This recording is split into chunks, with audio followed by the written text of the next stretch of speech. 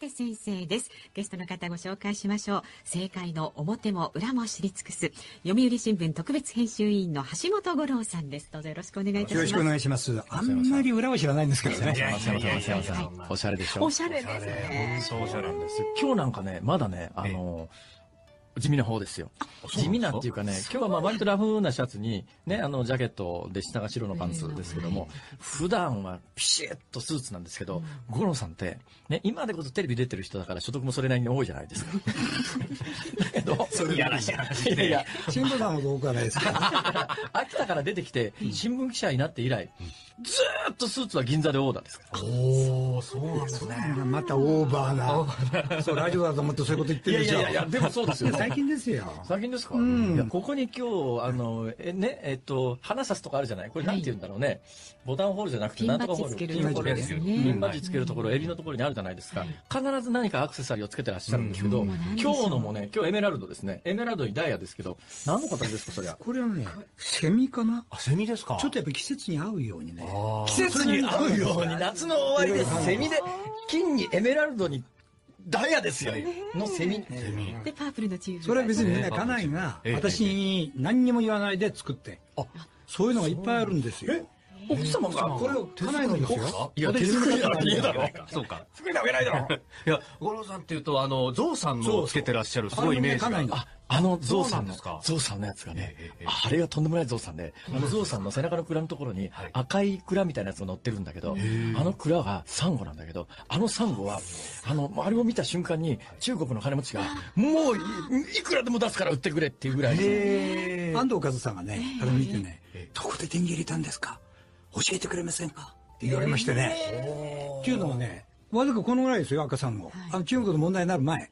まあ、今わずかこのぐらいって指でもラジオでも分かんないです。あ、そうそう。テレビありませんからね。縦横1センチ以内です。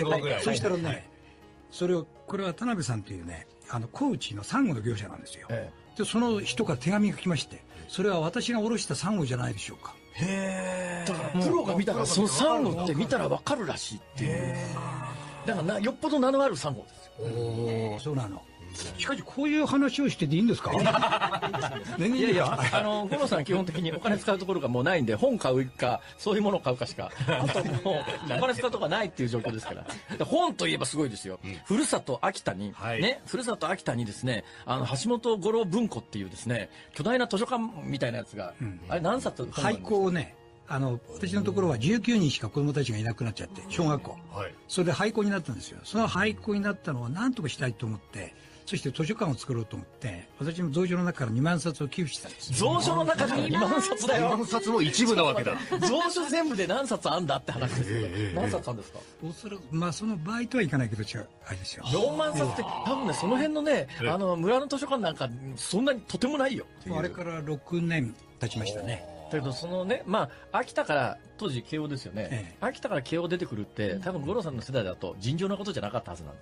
でむっちゃお金持ちかっていうとそうでもなかったんでしょ？いやいや全く金はなんかありませんよ。学校の先生ですからね。親父。お父さんも学校の先生。あそれで公立学校の先生ですか？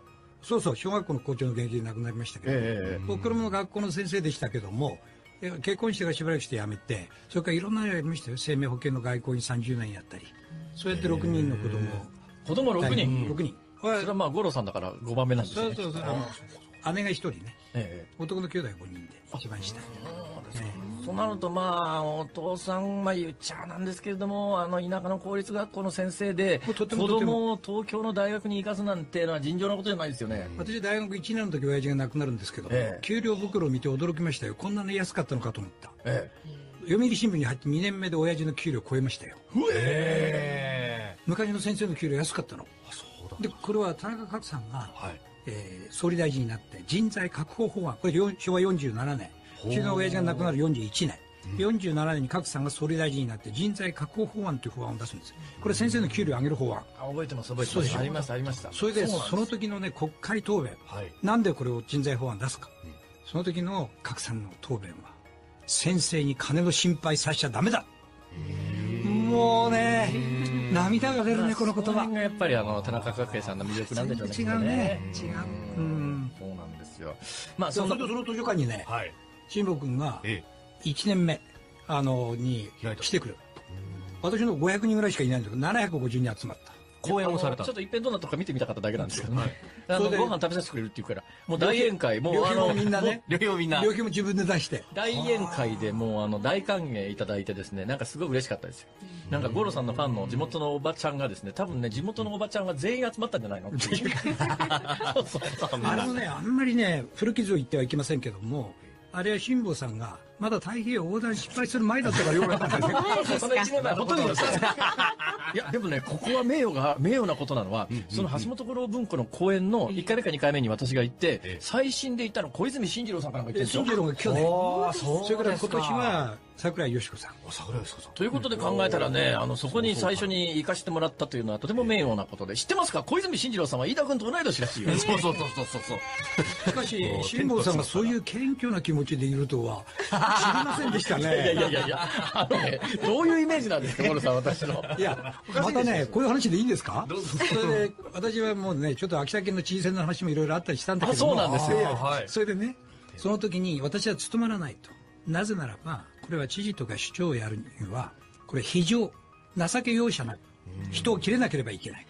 それは辛坊治郎なら情け容赦なく冷たく人を切れると。どんなイメージというねどんなイメージ大体こういう感じなんです冗談冗談じゃなくてね秋田の県知事選私はね本当に五郎さんになっといたらよかったし今からでも遅くないと思うんだよね。秋田県知事選ってあの五郎さん最後の最後までやっぱり出ようと悩んだんだけどあのどうしても奥さんがあのね、離婚届出していけっていうぐらいな。離婚届見せられてね。参ったね。それはシャレじゃなかったんですか？本気実際本気だけどもねそれよりもやっぱり大きかったのは娘ですよ、えー、娘にこう言われてるの。お父さんは幸せな人生を送ってきたと。なぜ幸せな人生を送れたか分かってますかときたね。いやお父さんと辛いことあったと。しかし家族には見せないようにしてたんだそうそう、まあ、こういうね。世の中のお父さんみんなそうなんだ。そうなのよ。そしたらねでもね幸せなんですよって。60過ぎても特別返信っていう制度を作ってもらってねこうやってるんでしょうとなぜ幸せな人生を送ってこれたと思いますって言われた。えー、って返事できなかった。それは自分のことを棚に上げて人のことをとやかく言って それで幸せな人生を送れたんですよ。とやかく言われる側にもあるな。とやかく言われる側になってそれに耐えられるだけの強さがお父さんにありますかときたね。すごいお父様ですね。全くダメだったんです。わかりました。そうですか。あれは参ったな。なかなかの名言ですね。名言ですね。で、まあそんな五郎さんに今日はですね、まあ人のことをとやかく言っていただく。いやいやいや、ある意味政治家そういう覚悟がなきゃいけないってこと流れになっております。まあそうなんですよ。政治家になったからにはとやかく言われる立場なんだということを自覚してもらわないと、その自覚がなさすぎる人が五郎さん多すぎますよね。そうですね。ただその時にいろんなこの、まあ、そのよく言うリスク管理というか、そういう事態になった時どういう対応をするかっていうのが、ね、えー、やはりその政治家の資質でもあるんですよ。そうなんです。普段は、普段何もない時には、すごいかっこよくて、ちゃんとしてる人に見えるんだけど、何かあった時の対応で分かりますよね。わ、はい、かる。人間の本質が。ええー、まあ、その辺の話、お知らせ交通情報を挟んでじっくり伺っていきたいと思います。どうぞよろしくお願いします。よろしくお願いします。よろしくお願いします。さあ、まずは、まあ、最新の政局というと、今週世の中を騒がせした、えー、民進党の役員人事をめぐるドタバタについて、えー、お聞きしていきたいと思うんですが、まあ、あの、山尾志織さん、一時期は幹事長だっていう報道も流れましたけれども、えーえー、結局、まあ、あの不倫疑惑で、えー、7日夜に離党届を提出したということでありました。どうご覧になりましたそうですね。そうですね。五郎さんがこれ一番最初に何を言うかすっげえ期待してるっていうか、どこ、どこに目をつけるかな。俺なんかすごい下水ところから入るけど、五郎さん目線ではどうですか？はい。一言で言えば、はい、今完全、今だけじゃない、ここしばらくでそうですね。週刊誌政局ですね。そうですね。週刊誌が今、政治の行方を決めちゃってるっていうね。という感じですね。新聞記者としてはじくじたる思いなのかやっぱりこれ間違ってるよという思いなのか？どっちが？あれ山田さんの行動ですか？いやいやいやそのあの報道のそう報道の仕方ですか、うん、そうです。こういうことで政治家が、まあ、はっきり言って山田さんこれはもう復活するのは相当難しいかろうという気がするんですが厄介です、ね、これで消えちゃうか可能性が。これやっぱ時代の変化っていうのはありますね、えー、で非常にやっぱり惜しい人材だと思いますよ。で先ほどねあのこういうリスク管理そうなった時どう対応するか私はね、非常に印象に残ってるのは、鳩山幸夫さんが、はい、確か、室蘭の女性に1億円慰謝料っていうのがあったんですよ。で、これはね、確か週刊新潮だったと思いましたね。えー、で、私も野党キャップでね、え社会部にそれを聞いてくれって言われたの、え、で私はねしかしそういう女性問題でねあの記者会見で聞くっていうのはね、い。かがなものかと。しかし、そこで確認したいからっていうんで、私聞いた。鳩山さん、その時ね、前の前の民主党でね、鳩山さん、この週刊誌の事実は本当ですか？その時の鳩山幸夫の答え。いやー、鳩がカムにされちゃいました。お前、いや、座布団一枚よ。ちょっと待って。これでね、これでみんな大笑いでおしまい。ちゃんと事実は認めてるし、丸ごと。あれだね、あの、円楽さんがさ、船出てくやつと解くみたいな、ほら、なんか円楽さん、円楽さんの謎かけで、バレた時謎かけで、あの、後悔の真っ最中ですっていう。ありましたね。あれで終わっちゃった。うん。だけど、どうですかね、あの時代背景っていう話で言うと、その時代だからまあそれで許されたんで、で今だったら多分。今はまずね、今、なぜ昔の問題かというと、昔はね、三木武吉っていう人がいたんですね。はい、これは、あの、1955年の保守合同の、一番の立役者ですよ、はい、戦前からずっと政治家やってる、うんえ。ー、でこの人はね、おめかけさんが7人いたんですよ、うん、で選挙をやった時に対立候補に言われるんですよ、えー、このこういう人を選ばれていいのかと、おめかけさんが5人もいると、うん、そしたら、三木武吉は、こういうね、公で言う時に間違いがあってはいけませんと。5人じゃない。7人です。こういうんですよ。でねただこれは皆幸せに暮らしておりますと。でももうね老来廃馬もうあの老人になっちゃって廃馬の廃止の廃ね馬ね、えー、廃馬になってもはや役に立ちませんと。しかし彼女たちを捨てるようなっていう不人情なことはこの三木武吉はしませんと。こうやって言うんですよ、えー、これで拍手喝采でそれはね今から60年も前だからそうなの。ところが今はどうかというとまずね芸能人の場合でも不倫問題はまず倫理で裁断されるんですね。こういうことを選ばれた人がこう青少年にね悪影響を与えるようなことをねやっていいんだろうかってことね。思い出した。昔そういえば映画会社の社長かなんかで、うん、あの女優を愛人にしたって責められた映画会社のトップが、うん、女優を愛人にしたんじゃないんだと愛人を女優にしたんだって。い うまあそれしかし今は昔の話ですね。今もダメですか？今はちょっと無理でしょうね、星ラジオ。どうしたらいいんですかね。あの、もちろんそういうことしなきゃいいんですけども、うん、まあ、しなきゃいいのは当たり前なんだけど、しちまって今回みたいにバレましたと。で、山本さん記者会見を開きましたと。で、一方的なんか喋って、で、次質問しようと思ったら、いなくなっちゃったりなんかして、あれでいいんですかね。僕はよろしくないと思う。で、これはね、あの、一、まあ一度に済ますというのが変ですけども、その、1回でできるだけダメージを少なくするためには洗いざらい本人から言うこと。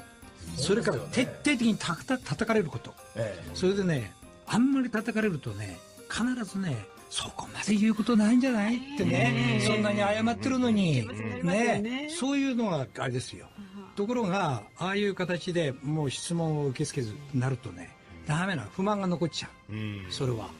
だからそこは、もう一度覚悟して、もう一からっていうかマイナスから出直しますと。どうぞね、あの、洗いざらい言いますと。で、質問してくださいと。むしろそうする方がいいのかもしれない。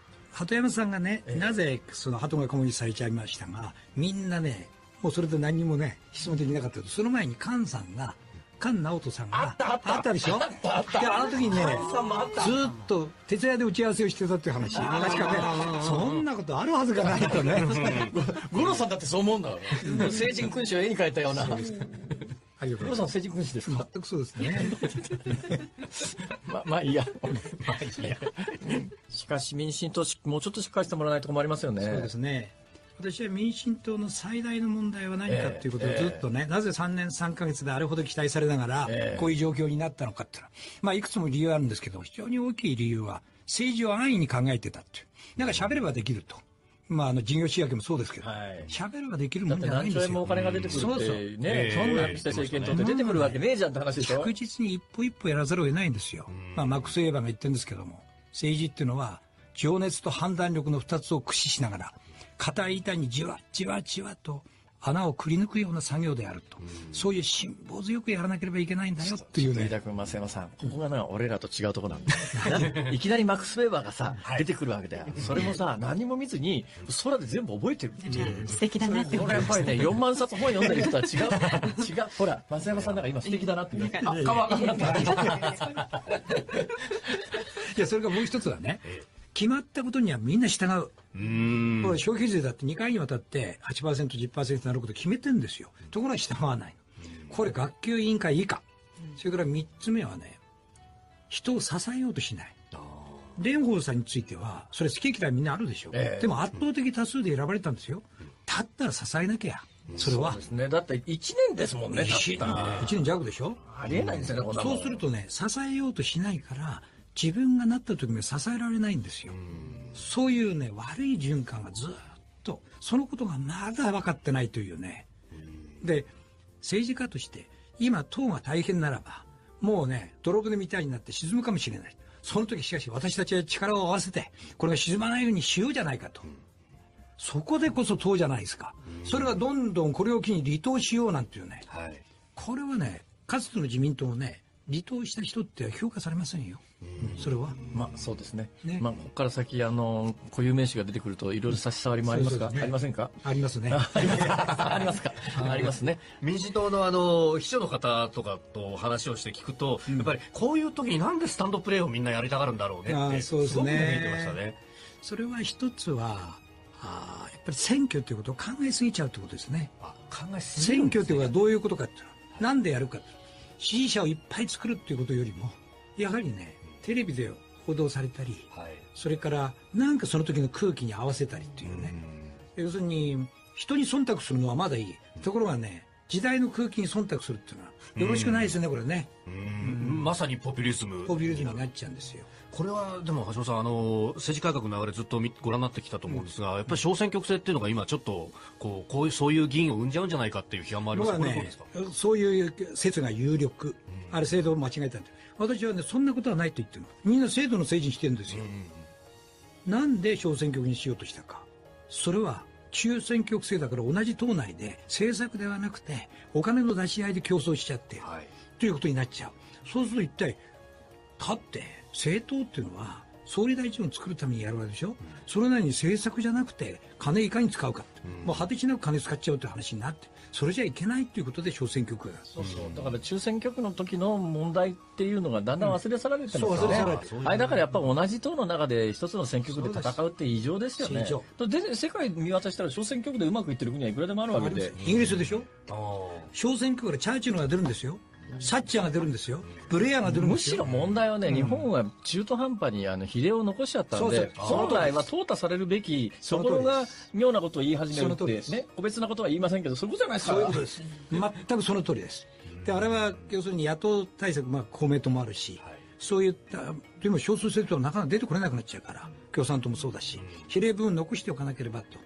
で、よく二大政党制っていうのはね、今、木下ないでしょ。二大政党っていうのは、これはみんなね、もう50代、あの50というか、えー、49代、51とか、これが二大政党じゃないんですよ。たとえ99対1であっても、その1が次の選挙の時には99になるかもしれない小選挙区ってそういうもんですよね。そういうものなんで、そういうだからね、ドラスティックにその劇的に政権交代が可能なようにする。油断すると悪いことすると、もう罰を受けますよと。だからちゃんとやらなければいけませんよ。これが小選挙制度の妙味なんですよ。この間のイギリスの選挙なんかまさにそうですね。まさにそうですよ。カナダあカナダなんかひどかったですよ。一桁になるんですよ、政権党が。ああ、なるほど。それは。それが緊張感をと。だから、鳩山幸夫も菅直人も賛成だったの、小選挙区選挙区選に。うん。それは、政権交代が可能になるから。あのままじゃ絶対できませんでしたよ。次選挙いつ頃ですかね。まあ、それはね、これは当たるも発見、当たらぬも発見。それはね、それからあると言っておけば、ええ、今年中にあると言っておけば楽なんですよ。実際あるかもしれないしね。あった時ないと言ったんじゃ困るんですよ。で、あると言ってなければね、私があるあると言ったから、みんな警戒してなくなった。そういう理屈こういう話なわけ。だからね、あの、去年からもうずっとね、狼が出てくる、狼が出てくるって話にしておけば楽だってことだけど私は難しいと思う。っていうのはね、あの、支持率が高い時だったらいい。で、少し上がりましたよ。上がったけど、私はこのまま、もうちょっと、あの、安倍内閣上がると思う。上がると思うけど、やっぱり経済がどうなるかね。これ大変。それからまあ3つの補選がね、はい、どうなるか。それ次第ということはあるんだけども、あるんだけど、基本的にね、あの減るんですよ、自民党は。まあ今は次選挙すれば圧倒的に多いですからね、今より増えることはないですよね。そうすると減るとね、必ず次になりたい人が責任問うんですよ。やって蹴らしたんじゃないかと。で、それが蹴り幅が大きければ、そうするともうダメですよ。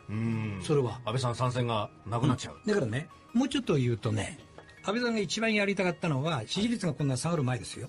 来年の9月で参戦されて、それからさらに3年保証される、そういう中で、任期が12月ですか、来年の。はい、9月と12月の間に選挙やりたかった、はいはい、これ、だから3か月は厄介ですよ、なんでやりたかったかというと、必ず開すから、はい、そうすると責任問われないためには、9月の参戦、それから3年間できるわけですから、えー、そうするときに、総裁3年された時に必ず圧倒的な支持で彼が参戦されるわけですよ、えー、そうすると内閣改造をやるとみんな閣僚になりたいからみんな支持するわけ。安倍さんを支持、でその後9月のと12月に選挙やって少々減ったって誰も責任その問うことができませんよそそうだこの間ね、あの、通したばっかりとそうそうそうそうそう。俺たもんなってただね、厄介なのは、はい、この間短いってことですよ、これね。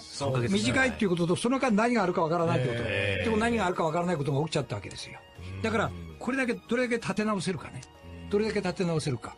私はね、今外交でもね、トランプだけではなくて、はい、プーチンともああいう形で話ができるわけですよ。まあ、メルケルね、一番長いんだけども。しかし、どっちに対しても話ができるっていう。まあ、世界の首脳でただ一人ですよ。で、これをやはりね、フルに使うっていうね。私はいつかほら、ウェイクアップで、はい、北方領土のことをね、え聞きたいって言ったじゃないですか。はい、あれね、ちょっともうちょっとはっきり言えばよかったんだけど、これね、プーチンが来年3月に再選されるでしょ？はい。また。はい。そうするとチャンスなんですよ。今盛んに、いろんな形で共同の経済活動の話してますけど、はい、これはわかりませんよ。今度は、プーチンはあと、次に選ばれて、その次はないわけですから、うん、一番強い政権ですから、二党返還が可能になるかもしれない。これはね、ちょっと気をつけた方がいいんですよ。それをはっきり言えばよかったんだけど、そこまでちょっとね、いや、まあ、安倍さんも答えられないだろうし、二党でいいのかってことはありますよ。しかし少なくとも。いや、まあ今のままいくともう本当に永遠に帰ってこないですからね、うん、どっかで腹くくる必要はありますよね。その国民の、あの、賛否は分かりません。分かりませんけど、しかし、アメリカという現に同じ同盟国じゃない国と領土を平和的に返還するっていう、もう初めてのおそらく例になりますよ。これはね、結構大きいと思う。それは。だから意外にね、やりようによっては、まあその前に、家計問題見せて身内をね、あまりするんじゃなくて、ここは謙虚な政治をやって、身内はもっと厳しくして、やるっていうのを見せながらやらないまあ、賭けなんか私、あの、今治に実際に見に行きましたけども、うん、これはまあ、いや、そんなに大きくなるような問題では全くないっていうか、うん、土地タダでくれてやったって言ってますけど、地元の不動産屋に聞いたら、こんなとこタダでもいりませんよっていう、うん、ここでタダでもらって人、ね、1000人人口を安定的に増やすような商売やってくれって言ったって無理って言って、もうよくあの、賭けやってくれたレベルの話なんだけども、これがまあ、ある意味清掃に使われるのは非常にせ、まあ、あの、一部の新聞やメディアの、まあ、ある、あある意味戦略というかですね、そう、ね、そういうものが透けて見えるんだけれど、だけどやっぱり、あの、そう見られる立場なんだということも合わせて必要かなと思います。あの問題の最大の問題は、やはりエコひいきってことですよ。だからごく普通の主婦も、なんだと。という感じになるわけですよ。みんな自分たちの仲間内のいいことだけしてるんだなと。だから家計問題は、もう簡単な話で、最初にこれは特区をしなければいけない。なぜならこれだけ五十何年間も認められなかった。しかしそれでいいのかと。何のために特区を作るんだと。それは風穴を開けるためだと。看板規制をね、打ち破るためなんだと。しかし今申請してるのは私の親友だと。だけども、一切忖度するなと。忖度してはいけないと。こうやって最初に宣言しておけばね、そういったからと忖度しちゃうんですよ、これね。ここは当たりないと思う。ああ、そう、見せておく必要があった。私は、私は家庭でね、毎日、忖度の毎日ですよ、これ。そうです。私もこの番組でどんだけ毎回、あの、増山さんに忖度をいや、本当ですよね。ね、本当に。飯田君なんかどんだけ、この日本放送です、増山さんのご機嫌伺いながら生きてる忖度しすぎて、肺際が交代する交代する。失礼します。橋本さん、最後に一つ、はいはい、あの、憲法改正そうするとどうします安倍さんは？私はね、あの、難しいと思う。うで、それはね、えー、まず、いろんな戦略の失敗があった。まず、憲法改正について、96条3分の2を2分の1にしたいという改正を、どこの新聞とのインタビューで、そう、やったのかということですね、96条。読売新聞なんですよ。気持ちはよくわかるの。産経新聞同じ考え、うん、しかしね仲間内でやってるみたいな話だでやっぱ国会でね、はい、あの産経読売新聞読めっていう答弁はないでしょ。それで朝日新聞は見るのも嫌だと、うん、もうこうですね。だからまあ真ん中取って読売新聞と。それから今度の場合も自衛隊をちゃんと位置づけようと9条改正するね。それも読売新聞なんですよ、うん、でね私はそれが間違ってると言ってるの。私が総理大臣だった朝日新聞とやるっていうの。おなるほど。一面トップでやらざるを得ませんよ。だから朝日新聞でも本音のところで大半はやっぱり自衛隊を合憲化しないとまずくて憲法9条はその意味では変えないといけないだろうと思ってる人はそこそこいるわけで、だから読売新聞主導じゃなくて朝日新聞主導ならば実現できた可能性があるということですよね。読売新聞を熟読せよと。もうありがた迷惑を極まりないっていう で、そういう中でね、ええ、そういう中で私が金が言ってるのは3分の2っていうのは容易じゃないんですよ。で、今度公明党と一緒になって3分の2ですよ。はい、だけども公明党の中相当慎重論、自民党の中ってありますよ。で、そうすると3分の2ってこれは私は日本記者クラブの党首討論の時も、これはね、もう見果ての夢だと。やめた方がいいと。同一方式でやるべきだと。統一方式っていうのは憲法改正50回近くやってるんですよ、はい、ドイツは。必ずその時は、与党第一党、社会民主党も賛成して、キリスト教民主社会同盟の保守党と、必ず賛成してやってるんですよ。だから圧倒的に3分の2でやってるの。国防軍持つ時も、非常事態法やる時も、そうじゃなきゃできません与党単独では無理だということですね。だから野党と、ここまでいいんじゃない自衛隊やね、憲法学者の7割以上が違憲だと言ってると。そう、ところが、違憲だと言ってるのに、この最後の救出に向かうのは自衛隊ね、災害がねと言えのかっていうおかしいじゃないですか、ね、そんなの、そういう自衛隊をね、認めましょうとだからそういうアプローチの仕方をしたら、多分あの民主旧民主党の一部、あるいはまあかなりの部分を取り組めた可能性もないとは言えないですからね。そうそうそう。どうしても多分、まあ、共産党は最後まで反対するかもしれないけどもっていう話ですけど、だって共産党だってね、この前も聞いたらね、だって C さんね、あなたたちはずっと一貫して憲法違反だと。憲法違反であるということ、このように存在してないということでしょうと。このように存在してない自衛隊ならば、なぜ、御嶽山で噴火があった時に、地震があった時に、自衛隊が行こうとした時に、行ってはいけません。あなたたちはね、このように存在してはいけないんですかと。なぜ言わないんですかと聞いた。そしたらこういう答えだった。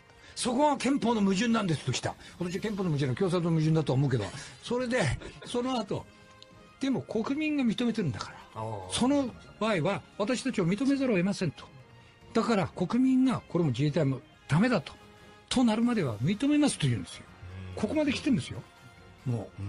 なるほど。まあ、となると、まあ、憲法改正はアプローチ次第というところですね。だから3分の与党自公だけで、うん、あるいはまあ維新も入れてるかもしれないけど、それだけで3分の2とって憲法改正っていう、うん、アプローチの仕方はちょっと違うんだろうなと、私は違うと思う。その前か前原さんっていうのは目があるのかもしれないですね。うん、憲法改正について。いや、だから前原、都民ファースト、維新、うん、このあたりの動きと議席数によっては、もしかするとっていう感じはしたもないですね。あありがとうございます。やっぱり五郎さん分かりやすいわ。なるほど。はい、まだまだお話伺いたいですが、そろそろもっときちんとしたこと言わなければいけない。いや、十分きちんとしてます。大丈夫です。はい。今日のゲストは、読売新聞特別編集委員の橋本五郎さんでした。どうもありがとうございました。ありがとうございました。なお、今日の辛坊治郎ズームそこまで言うかは番組のほとんどを8日金曜日の午前中に録音しています。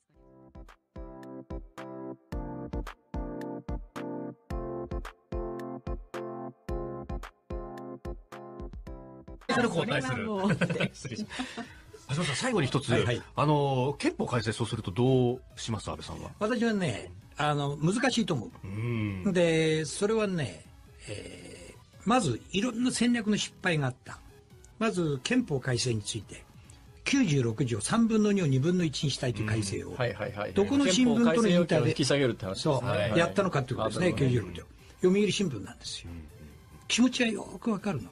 産経新聞同じ考え、うん、しかしね仲間内でやってるみたいな話だでやっぱ国会でね、はい、あの産経読売新聞読めっていう答弁はない。でしょ。それで朝日新聞は見るのも嫌だと、もうこうですね。だからまあ真ん中取って読売新聞とそれから今度の場合も自衛隊をちゃんと位置づけようと9条改正するね。それも読売新聞なんですよ、でね私はそれが間違ってると言ってるの。私が総理大臣だった朝日新聞とやるっていうの。おなるほど。一面トップでやらざるを得ませんよ。だから朝日新聞でも本音のところで大半はやっぱり自衛隊を合憲化しないとまずくて憲法9条はその意味では変えないといけないだろうと思ってる人はそこそこいるわけで、うん、だから読売新聞主導じゃなくて朝日新聞主導ならば実現できた可能性があるということですよね。読売新聞を熟読せよと。もうありがたい迷惑を極まりないって言い で、そういう中でね、ええ、そういう中で私は金が言ってるのは3分の2っていうのは容易じゃないんですよ。で、今度公明党と一緒になって3分の2ですよ。はい、だけども、公明党の中相当慎重論、自民党の中ってありますよ。で、そうすると3分の2ってこれは私は日本記者からの総集討論の時も、これはね、もう見果ての夢だと。やめた方がいいと。同一方式でやるべきだと。同一方式っていうのは憲法改正50回近くやってるんですよ。はい、ドイツは。必ずその時は、与党第一党、社会民主党も賛成して、キリスト教民主社会同盟の保守党と、必ず賛成してやってるんですよ。だから圧倒的に3分の2でやってるの。国防軍持つ時も、非常事態法やる時も、そうじゃなきゃできません与党単独では無理だということですね。無理な。だから野党と、ここまでいいんじゃない自衛隊ね、憲法学者の7割以上が違憲だと言ってると。そう、ところが、違憲だと言ってるのに、この最後の救出に向かうのは自衛隊ね、災害がねと。言えのかっていうおかしいじゃないですか、そんなの、そういう自衛隊をね、認めましょうとだからそういうアプローチの仕方をしたら、多分あの民主旧民主党の一部、あるいはまあかなりの部分を取り組めた可能性もないとは言えないですからね。そうそうそう。どうしても多分、まあ、共産党は最後まで反対するかもしれないけどもって話ですけど、だって共産党だってね、この前も聞いたらね、だって、C さんね、あなたたちはずっと一貫して憲法違反だと。憲法違反であるというこのように存在してないということでしょうと。このように存在してない自衛隊ならば、なぜ、御嶽山で噴火があった時に、地震があった時に、自衛隊が行こうとした時に、行ってはいけません。あなたたちはね、このように存在してはいけないんですかと。なぜ言わないんですかと聞いた。うん、そしたらこういう答えだ。そこが憲法の矛盾なんですと来た。この車両っていうのがあったんですよ。で、これはね、確か週刊新潮だったと思いましたね。えー、で、私も野党キャップでね、ええ、社会部にそれを聞いてくれって言われたの、ええ、で私はねしかしそういう女性問題でねあの記者会見で聞くっていうのはねい。かがなものかと、しかしそこで確認したいからっていうんで私聞いた。鳩山さんその時ね前の前の民主党でね、鳩山さんこの週刊誌の事実は本当ですか？その時の鳩山幸夫の答え。いやー鳩がカムにされちゃいました。お前、宮沢と一枚よ。ちょっと待って。これでね、これでみんな大笑いでおしまい。ちゃんと事実は認めてるし、丸ごと。あれだね、あの、円楽さんがさ、船出ていくやつと解くみたいな、ほら、なんか円楽さん、円楽さん、謎かけで、バレた時謎かけで、あの、後悔の真っ最中ですっていう。ありましたね。あれで終わっちゃった。うん。だけど、どうですかね、あの時代背景っていう話で言うと、その時代だからまあそれで許されたんで、今だったら多分。今はまずね、今、なぜ昔の問題かというと、昔はね、三木武吉っていう人がいたんですね。はい、これは、あの、1955年の保守合同の、一番の立役者ですよ、はい、戦前からずっと政治家やってる、うんえ。ー、でこの人はね、おめかけさんが7人いたんですよ、うん、で選挙をやった時に対立候補に言われるんですよ、えー、このこういう人を選ばれていいのかと、おめかけさんが5人もいると、うん、そしたら、三木武吉は、こういうね、公で言う時に間違いがあってはいけませんと。5人じゃない。7人です。こう言うんですよ。でね、ただ、これは、皆幸せに暮らしておりますと。でももうね、老来、廃、廃馬。もう、あの、老人になっちゃって、廃馬、の、廃止の廃ね、馬ね、えー、廃馬になって、もはや役に立ちませんと。しかし、彼女たちを捨てるようなっていう不人情なことは、この三木武吉はしませんと。こうやって言うんですよ。えー、これで拍手喝采。でそれはね今から60年も前だからそうなの。ところが今はどうかというとまずね芸能人の場合でも不倫問題はまず倫理で裁断されるんですね。こういうことを選ばれた人がこう青少年にね悪影響を与えるようなことをねやっていいだろうかってことね。思い出した。昔そういえば映画会社の社長かなんかで、うん、あの女優を愛人にしたって責められた映画会社のトップが、うん、女優を愛人にしたんじゃないんだと愛人を女優にしたんだって。いうまあそれしかし今は昔の話ですね。今もダメですか？今はちょっと無理でしょうね、星野どうしたらいいんですかね。あの、もちろんそういうことしなきゃいいんですけども、うん、まあしなきゃいいのは当たり前なんだけど、しちまって今回みたいにバレましたと。で、山本さん記者会見を開きましたと。で、一方的なんか喋って、で、次質問しようと思ったら、いなくなっちゃったりなんかして、あれでいいんですかね。僕はよろしくないと思う。で、これはね、あの、一、まあ一度に済ますというのも変ですけども、その、先生に金の心配させちゃダメだもうね、涙が出るね、この言葉。がやっぱりあの、田中角栄さんの魅力なんでしょうね。違うね。違う。うん。そうなんですよ。まあ、その、その図書館にね、辛坊君が、1年目、あの、に来てくる。私の500人ぐらいしかいないんだけど、750人集まった。講演をされたちょっと一遍どんなとか見てみたかっただけなんですけど。ね、あのご飯食べさせてくれるっていうからもう大宴会もうあのみんなね。旅 費もみんな旅費も自分で出して。大宴会でもうあの大歓迎いただいてですねなんかすごい嬉しかったですよ。なんか五郎さんのファンの地元のおばちゃんがですね多分ね地元のおばちゃんが全員集まったんじゃないのっていう。あれもねあんまりね古傷を言ってはいけませんけどもあれは辛坊さんがまだ太平洋横断失敗する前だったからよかったんですその1年前ほとんどですいやでもねここは名誉が名誉なことなのは、その橋本五郎文庫の公演の1回目か2回目に私が行って、最新で行ったの小泉進次郎さんからも言ってるんですよ。進次郎が去年。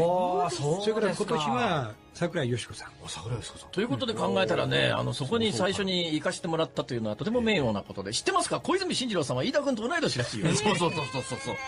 しかし辛坊さんがそういう謙虚な気持ちでいるとは知りませんでしたね。いやいやいやいや。あのねどういうイメージなんですか五郎さん私の。いやまたねこういう話でいいんですか？それで私はもうねちょっと秋田県の知事選の話もいろいろあったりしたんだけどそうなんですよ、はい、それでねその時に私は務まらないとなぜならばこれは知事とか市長をやるにはこれ非常情け容赦な人を切れなければいけない。それは辛坊二郎なら情け容赦なく冷たく人を切れると。そんなイメージというね。そんなイメージ。大体こういう感じなん冗談冗談じゃなくてね、秋田の県知事選、私はね、本当に五郎さんになっといたらよかったし、今からでも遅くないと思うんだよね。秋田県知事選って、あの、五郎さん最後の最後までやっぱり出ようと悩んだんだけど、あの、どうしても奥さんが、あの、ね、離婚届出していけっていうぐらいな。離婚届見せられてね。参ったね。それはシャレじゃなかったんですか？本気は実際本気。だけどもね、それよりもやっぱり大きかったのは娘ですよ。えー、娘にこう言われてるの。お父さんは幸せな人生を送ってきたと。なぜ幸せな人生を送れたか分かってますか？と来たね。いや、お父さんと辛いことあったと。しかし家族には見せないようにしてたんだそうそう。まあ、これからね。世の中のお父さんみんなそうなんだ。そうなのよ。そしたらね、でもね、幸せなんですよって、60過ぎても特別返信っていう制度を作ってもらってね、こうやってるんでしょうと。なぜ幸せな人生を送ってこれたと思いますって言われた。えー、って返事できなかった。それは自分のことを棚に上げて、人のことをとやかく言って、それで幸せな人生を送れたんですよ。とやかく言われる側にもあるな。とやかく言われる側になって、それに耐えられるだけの強さが、お父さんにありますかと来たね。すごいお父様ですね。全くダメだったんです。わかりました。そうですか。あれは参ったな。いやいやいや、でもそうですよ。最近ですよ。最近ですか？ここに今日、あの、え、ね、えっと、花さすとかあるじゃない？これなんて言うんだろうね。ボタンホールじゃなくて、なんとかホール。ピンバッジつけるところですね。ピンバッジつけるところ、襟のところにあるじゃないですか。必ず何かアクセサリーをつけてらっしゃるんですけど、今日のもね、今日エメラルドですね。エメラルドにダイヤですけど、何の形ですか、そりゃ？これはね、セミかな？あ、セミですかちょっとやっぱ季節に合うようにね。季節に合うように、夏の終わりでセミで、金にエメラルドにダイヤですよ。のセミ。で、パープルのチーム。それは別にね、家内が私に何にも言わないで作って。あ、そういうのがいっぱいあるんですよ。奥様がこれを家内のですよ。いや、手作りだろ、家だろ。そうか。作りなわけないだろ。いや、五郎さんっていうと、あの、ゾウさんのつけてらっしゃるすごいイメージが。あのゾウさんの、ゾウさんのやつがね、あれがとんでもないゾウさんで、あのゾウさんの背中の蔵のところに赤い蔵みたいなやつが乗ってるんだけど、あの蔵がサンゴなんだけど、あのサンゴは、あの、あれを見た瞬間に中国の金持ちが、もういくらでも出すから売ってくれっていうぐらい。安藤和さんがね、あれ見てね、どこで手に入れたんですか？教えてくれませんか？って言われましてね。っていうのもね、わずかこのぐらいですよ、赤さんも。あの中国の問題になる前。まあ、今わずかこのぐらいって指でもラジオで分かんないです 今、テレビありませんからね。1センチ以内です。そしたらね、それを、これは田辺さんというね、あの、高知のサンゴの業者なんですよ。で、その人から手紙が来まして、それは私が下ろしたサンゴじゃないでしょうか。へえ。だからプロが見たら、そのサンゴって見たらわかるらしいっていう。だからな、よっぽど名のあるサンゴですよ。おそうなの。しかしこういう話をしてていいんですか？いやいやあの五郎さん基本的にお金使うところがもうないんで本買うかそういうものを買うかしかあともう お金使うところがないっていう状況ですから。本といえばすごいですよ、うん、ふるさと秋田に、はい、ねふるさと秋田にですねあの橋本五郎文庫っていうですね巨大な図書館みたいなやつが、うん、あれ何冊廃校をねあの私のところは19人しか子供たちがいなくなっちゃって小学校、はい、それで廃校になったんですよ。その廃校になったのを何とかしたいと思ってそして図書館を作ろうと思って私も蔵書の中から2万冊を寄付したんです蔵書の中から2万冊だよ。2万冊の一部なわけだ。蔵書全部で何冊あんだって話ですよ、えー、何冊あるんですか？おそらくまあその倍とはいかないけど違うあれですよ。4万冊って多分ねその辺のねあの村の図書館なんかそんなにとてもないよ。あれから6年経ちましたね。だけどそのねまあ秋田から当時慶応ですよね、ええ、秋田から慶応出てくるって多分五郎さんの世代だと尋常なことじゃなかったはずなんで。でむっちゃお金持ちかって言ってそうでもなかったんでしょ？いやいや全く金はなんかありませんよ。学校の先生ですからね。親父。お父さんも学校の先生。あそれで公立学校の先生ですか？そうそう小学校の校長の現役で亡くなりましたけど、ええ、僕も学校の先生でしたけども結婚してからしばらくして辞めてそれからいろんなのやりましたよ。生命保険の外交に30年やったり。そうやって6人の子供を。子供6人？6人生え際が交代する交代する。失礼し橋本さん最後に一つ、はいはい、あの憲法改正そうするとどうします？安倍さんは。私はねあの難しいと思う、うん、でそれはね、えー、まずいろんな戦略の失敗があった。まず憲法改正について96条3分の2を2分の1にしたいという改正を、どこの新聞とのインタビューでそう、やったのかということですね、96条。読売新聞なんですよ。気持ちはよくわかるの。産経新聞同じ考え、うん、しかしね仲間内でやってるみたいな話だ。でやっぱ国会でね、はい、あの産経読売新聞読めっていうあの答弁はないでしょ。それで朝日新聞は見るのも嫌だと、うん、もうこうですね。だからまあ真ん中取って読売新聞と。それから今度の場合も自衛隊をちゃんと位置づけようと9条改正するね。それも読売新聞なんですよ、うん、でね私はそれが間違ってると言ってるの。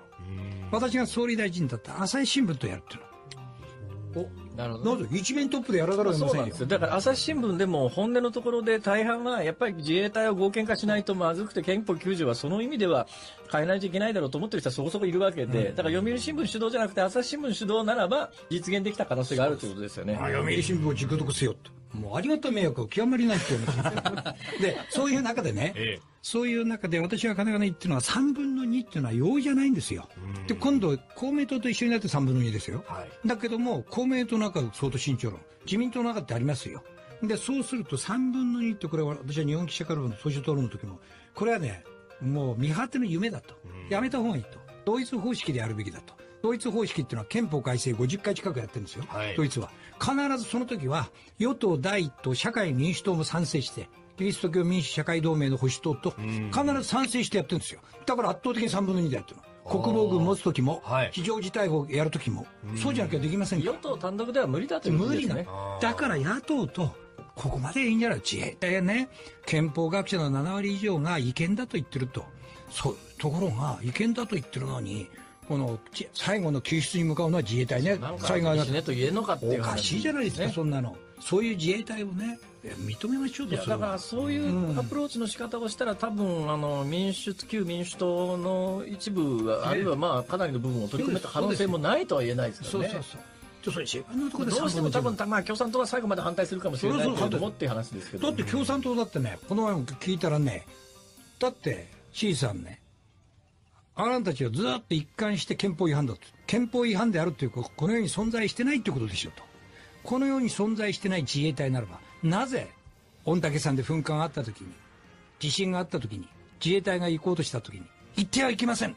あなたたちはね、このように存在してはいけないんですかと。なぜ言わないんですかと聞いた。そしたらこういう答えだ。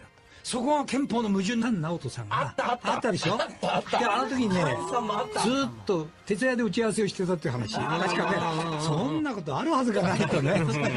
五郎さんだってそう思うんだ成人君子を絵に描いたような。五郎さん成人君子ですか？全くそうですね。ままあいいや。まあいいや。しかし民進党もうちょっとしっかりしてもらわないと困りますよね。そうですね私は民進党の最大の問題は何かということをずっとね、えー、なぜ3年3か月であれほど期待されながら、こういう状況になったのかっていうのは、まあ、いくつも理由あるんですけど、非常に大きい理由は、政治を安易に考えてたっていう。なんか喋ればできると。まあ、あの事業仕分けもそうですけど、喋、はい、ればできるもんじゃないんですよ。もお金が出てくるって、そうそうね、そんな政権取って出てくるわけねえじゃんって話でしょ。確実に一歩一歩やらざるを得ないんですよ。まあ、マックス・エーバーが言ってるんですけども、政治っていうのは、情熱と判断力の二つを駆使しながら、硬い板にじわじわじわと穴をくり抜くような作業であると、うん、そういう辛抱強くやらなければいけないんだよっていうね。飯田君、増山さん、ここがな、俺らと違うとこなんだ。いきなりマックス・ウェーバーがさ、出てくるわけだよ。それもさ、何も見ずに、空で全部覚えてるっていう。素敵だなって思いやっぱりね、4万冊本読んでる人は違う。違う。ほら、増山さんなんか今素敵だなっていう。あ、かわ。いや、それがもう一つはね、決まったことにはみんな従う。うんこれ消費税だって2回にわたって8%、10%になること決めてるんですよ。ところが従わない。これ学級委員会以下。それから3つ目はね、人を支えようとしない。蓮舫さんについては、それ好き嫌いみんなあるでしょ。えー、でも圧倒的多数で選ばれたんですよ。だったら支えなきゃ。それは。そうですね。だって1年ですもんね。1年弱でしょありえないですよね、そうするとね、支えようとしないから、自分がなった時に支えられないんですよ。そういうね、悪い循環がずっと、そのことがまだ分かってないというね。で、政治家として、今党が大変ならば、もうね、泥船みたいになって沈むかもしれない。その時しかし私たちは力を合わせて、これが沈まないようにしようじゃないかと。そこでこそ党じゃないですか。それがどんどんこれを機に離党しようなんていうね。はい、これはね、かつての自民党をね、離党した人って評価されませんよ。それは？まあそうですね。ねまあここから先あの固有名詞が出てくるといろいろ差し障りもありますか、ね、ありませんか？ありますね。ありますか？ありますね。民主党のあの秘書の方とかと話をして聞くと、うん、やっぱりこういう時になんでスタンドプレーをみんなやりたがるんだろうねって。そうですね。ねそれは一つは。あやっぱり選挙ということを考えすぎちゃうということですね。考えすぎ選挙ということはどういうことかっていうのは、なんでやるか支持者をいっぱい作るっていうことよりも、やはりね、テレビで報道されたり、はい、それからなんかその時の空気に合わせたりっていうね、う要するに人に忖度するのはまだいい。ところがね、時代の空気に忖度するっていうのは、よろしくないですね。ます。あんまり裏は知らないんですけどね。おしゃれでしょ。おしゃれですね。そうおしゃれなんです。今日なんかね、まだね、あの、地味な方ですよ。地味なっていうかね、今日はまあ割とラフなシャツに、ね、あの、ジャケットで下が白のパンツですけども、普段はピシッとスーツなんですけど、五郎さんって、ね、今でこそテレビ出てる人だから所得もそれなりに多いじゃないですか。だ けど、それいやらしい話いやいや、新聞さんも多くはないですけど。秋田から出てきて、新聞記者になって以来、ずっとスーツは銀座でオーダーですから。おおそうなんですね。またオーバーな。そう、ラジオだと思ってそういうこと言ってるでしょ。いやいやいや、でもそうですよ。最近ですよ。最近ですか、うん、いや、ここに今日、あの、え、ね、えっと、花さすとかあるじゃない？これなんて言うんだろうね。はい、ボタンホールじゃなくて、なんとかホール。ピンバッジつけるところピンバッジつけるところ、襟のところにあるじゃないですか。必ず何かアクセサリーをつけてらっしゃるんですけど、今日のもね、今日エメラルドですね。エメラルドにダイヤですけど、何の方ですか、そりゃ？これはね、セミかな？あ、セミですかちょっとやっぱ季節に合うようにね。季節に合うように、夏の終わりでセミで、金にエメラルドにダイヤですよ。のセミ。で、パープルのチーム。それは別にね、家内が私に何にも言わないで作って。あ、そういうのがいっぱいあるんですよ。奥様がこれを家内のですよ。いや、手作りだ家だろ。そうか。作りなわけないだろ。いや、五郎さんっていうと、あの、ゾウさんのつけてらっしゃるすごいイメージが。あのゾウさんの、ゾウさんのやつがね、あれがとんでもないゾウさんで、あのゾウさんの背中の蔵のところに赤い蔵みたいなやつが乗ってるんだけど、あの蔵はサンゴなんだけど、あのサンゴは、あの、あれを見た瞬間に中国の金持ちが、もういくらでも出すから売ってくれっていうぐらい。安藤和さんがね、あれ見てね、どこで手に入れたんですか？教えてくれませんか？って言われましてね。っていうのもね、わずかこのぐらいですよ、赤さんも。あの中国の問題になる前。まあ、今わずかこのぐらいって指でもラジオですあ、そうそう。テレビありませんからね。1センチ以内です。そしたらね、それを、これは田辺さんというね、あの、高知のサンゴの業者なんですよ。で、その人から手紙が来まして、それは私が下ろしたサンゴじゃないでしょうか。へえ。だからプロが見たら、そのサンゴって見たらわかるらしいっていう。だからな、よっぽど名のあるサンゴですよ。おそうなの。しかしこういう話をしてていいんですか？いやいや あの五郎さん基本的にお金使うところがもうないんで本買うかそういうものを買うかしかあともう お金使うところがないっていう状況ですから。本といえばすごいですよ、うん、ふるさと秋田に、はい、ねふるさと秋田にですねあの橋本五郎文庫っていうですね巨大な図書館みたいなやつが、うん、あれ何冊廃校をねあの私のところは19人しか子供たちがいなくなっちゃって小学校、はい、それで廃校になったんですよ。その廃校になったのは何とかしたいと思ってそして図書館を作ろうと思って私も蔵書の中から2万冊を寄付したんです。蔵書の中から2万冊。だよ。2万冊の一部なわけだ。蔵書全部で何冊あんだって話ですけど、えー、何冊あるんですか？おそらくまあその場合とはいかないけど違うあれですよ